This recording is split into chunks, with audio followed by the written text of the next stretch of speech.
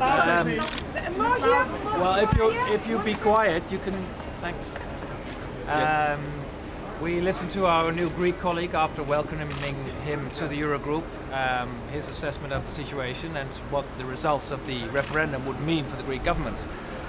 Um, he has not yet uh, uh, presented new proposals, but he will first of all now send us quite quickly a new letter requesting for ESM uh, support. And following that, he will uh, present proposals from the Greek side on what uh, the um, substance would look like on which we could reach an agreement. Uh, so we will do that as quickly as possible. Already tomorrow morning we will have another conference call to talk about this letter with a formal request for ESM support. Uh, and that will for me be the signal to start um, the process. First step will be to ask the institutions to assess financial situation in Greece, financing needs, debt sustainability, uh, and then we will have another Eurogroup uh, to decide whether we will formally start the talks on a possible program. Uh, the ministers also broadly agreed that if there is to be another ESM program with support, it would have to be a medium-term program for reasons of uh, credibility. The problems in Greece are deep and will need uh, our attention for quite a time to come. So we would be talking about a medium-term uh, program. Are you optimistic now? More? Are you optimistic after what you heard from the new minister? Um, it's a little uh, too early to say. Um, you must realize that um, in the mind of the Eurogroup, the problems in uh, Greece do really need um, credible uh, reforms to deal with those problems. Uh, and therefore, we need to hear from the Greek government whether they have such reforms in, in mind, whether they are prepared politically, uh, prepared to do those. Uh, and that's what we will hear from them very, very soon. Did you we don't have time. Proposals we don't have time, Minister. Did you Minister, we don't have time for this. We don't. Did you, did you expect uh, concrete proposals already today, or? Uh, we were under the suggestion that they might have come today, uh, but they were not uh, available uh, yet. First step now is to have a new letter. The old letter had a number of different requests. We would like to receive a new letter, and we will receive it quite quickly. Do we have time for all this? Do we have time for all this? There, do, do, do we have time for all this? There is a great sense of urgency. Uh, we all share it. Uh, the Greek uh, colleague shares it, uh, we share it. We all know how very difficult the situation in Greece is as we speak, uh, and time is very short.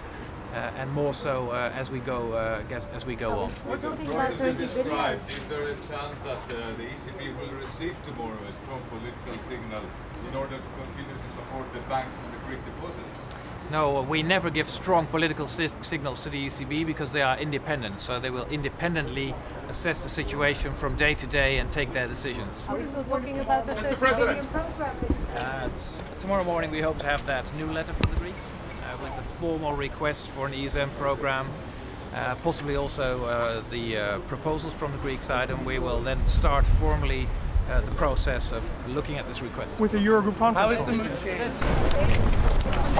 um, we welcomed our new Greek colleague and listened to his um, assessment of the situation after the, the no vote in Greece. Uh, there were no new proposals at this point from the Greek uh, minister. Uh, the first step will be that the Greek government will send the Eurogroup a, uh, a new request, a new request letter for ESM support. Uh, and as soon as that comes in, uh, hopefully already tomorrow morning, we will have another conference call from the Eurogroup to formally start the process uh, of dealing with this request. The first step will be that I will ask the uh, institutions to look at the uh, financial situation in Greece, the financing needs and the debt sustainability. And then the institutions will come back to us and we will see whether we can formally start the negotiations. All of this has to be done in a matter of days. We have very little time, as you uh, are all aware. Thanks. Uh, we hebben een nieuwe Griekse minister uh, aangehoord. Die heeft aangegeven hoe hij denkt dat deze nee-stem moet worden vertaald. Hij had nog geen nieuwe voorstellen bij zich. Uh, we hebben hem gevraagd een nieuwe brief aan ons te sturen met een verzoek om ESM-steun. De vorige brief zaten maar liefst drie verzoeken in die zijn verouderd.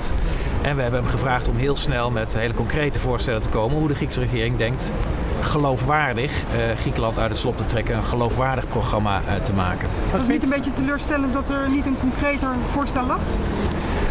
Eh, ten dele denk ik een misverstand. Uh, naar het oordeel van de Grieken lagen er nog twee brieven die wij nog zouden behandelen. naar ons oordeel is de politieke situatie echt veranderd. zijn die brieven niet meer actueel. Dus we zullen aan het werk moeten met een nieuw verzoek en nieuwe voorstellen. Hoe lang kunnen de Griekse banken dit nog volhouden?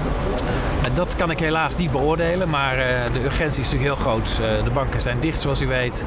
Op dit moment draaien de betaalautomaten nog, maar ik kan niet beoordelen hoe lang dat nog uh, gaat duren. Maar de urgentie is toch groter dan een aanvraag starten voor een derde pakket wat heel lang gaat duren?